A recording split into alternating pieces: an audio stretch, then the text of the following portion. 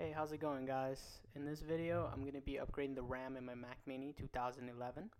I'm also working on a future video comparing the Mac Mini high-end versus the Mac Mini server. Um, that's one of the things that I was debating about before I bought my high-end Mac Mini, and I want to share some of my thoughts on why I got the high-end one. But that's going to be a future video. For the sake of this video, this is simply going to be about the RAM. Um, well, upgrading the RAM on the Mac Mini is actually very simple. You pop open the lid, immediately greeted by the memory. The memory is literally right there. Um, and then from there, to release the memory, there's going to be two tabs, one on the left and one on the right. And by doing so, the memory is going to elevate and then you can pull it out. Once you pull it out, um, repeat the process for the one at the bottom. It's going to have two tabs, left and right. Pull those tabs and the memory at the bottom will be released. Also guys, try to work in a static free environment